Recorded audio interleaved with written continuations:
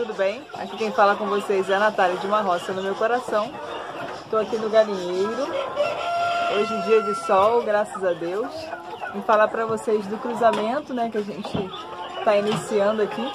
Na verdade, é, já iniciou porque eu ganhei alguns pintinhos do meu amigo Jonathan, né, ele trabalhava comigo de uma empresa e também é, começou a criar galinhas e tinha feito um cruzamento que é a Brahma com o lábio rouge. Então achei muito diferente, ele perguntou se eu gostaria e trouxe isso para mim há sete meses atrás. Né? No percorrer do caminho eram três pintinhos, no percorrer do caminho a gente acabou perdendo a branca, né? Da cor, da cor branca, a ave da cor branca. E agora ficamos com o casal. Então eu vim tratar agora de manhã e queria mostrar para vocês a surpresa que eu tive e mostrar em primeira mão pro Jonathan, né, Jonathan? Olha que lindeza. A nossa buffzinha com a lábio buffzinha, com lábio rouge. Pra quem não conhece, é uma Brahma, Brahma Buff. Linda, bem penadinha. Bastante pena nos pés, um rabo bem imponente. Esse aqui já foi feito um cruzamento do lábio rouge com Brahma. Tem bastante pena nos pés.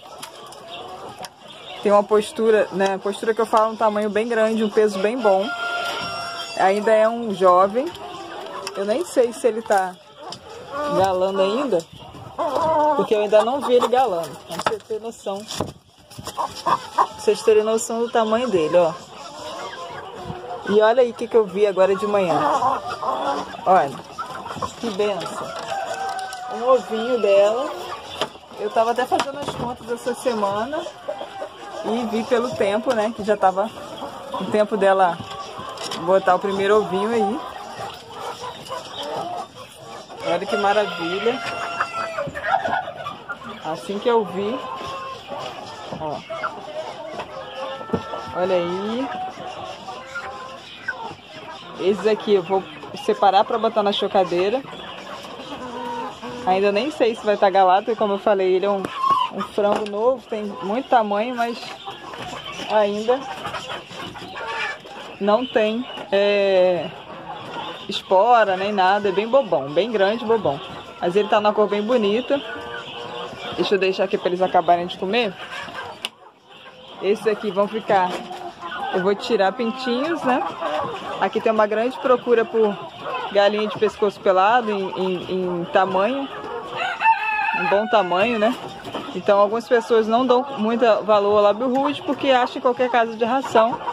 Então eles fizeram essa, esse cruzamento aí para quem gosta também de aves tipo ornamentais com pena no pé. Ela é bem bonitinha, ela ficou no tamanho menor do que as bramas maiores, mas ainda está no tamanho bem bonito. Com esse rabinho lindo, empenadinho, empinadinho, né? É, já me perguntaram aqui, como a nossa amiga Dona Vera, perguntaram se eu não tinha o lábio para poder fazer cruzamento e vender ovos. Ainda não temos. E como aqui meu espaço é reduzido, quem não conhece nosso humilde criatório, é feito baias, a gente está aí, espaço já completo. Então ainda não está nos planos essa raça. Eu tenho duas raças aí em planejamento para trazer para o nosso criatório faz parte de um sonho aí que eu tenho. Então, ali embaixo também tem alguns caipiras e as embrapas ficam aqui embaixo, né? E do outro lado também. Então aqui é, é muito bacana. Eu falo que são duas felicidades maiores para o criador. O primeiro ovo e depois desse ovo galado aqui tirar os pintinhos, né? Depois que eu comecei a, a fazer pares, fazer baias é, é, férteis, começar a tirar pintinho é muito mais prazeroso do que vender ovos para consumo. Porque aqui você está vendendo vidas, né, entre aspas, né? Você está vendendo aqui uma oportunidade das pessoas tirarem raça. Porque nem todas as raças as pessoas têm. Por exemplo, aqui está o nosso horto, estão tomando banho de, de poeira, de serragem. Ainda não voltaram à postura. Aqui já está nossas crianças que, que já nasceram aqui. Então já é uma outra felicidade. Aqui também são crianças que nasceram aqui, serão as próprias, próximas matrizes. Aqui já são nossas caipirinhas.